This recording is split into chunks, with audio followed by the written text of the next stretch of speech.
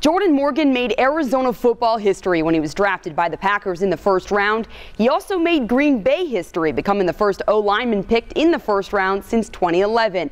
Morgan will help bolster the Packers O line, one that lost three veterans this offseason. Morgan brings experience with 37 starts at left tackle, leadership, and athleticism. Morgan told me moments after getting picked that going to Green Bay felt like a natural fit. And it's clear Packers general manager Brian Gutekunst feels the same way versatile offensive lineman like we like. You know, really athletic. Um, we really kind of feel he could probably play four positions for us.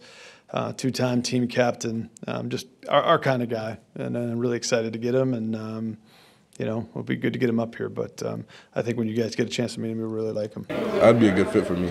I'm not gonna lie. I mean, it's gonna be a nice organization. I mean, I studied some of the guys there, so I mean, playing there, I already feel like I'm, I'm ready to go there.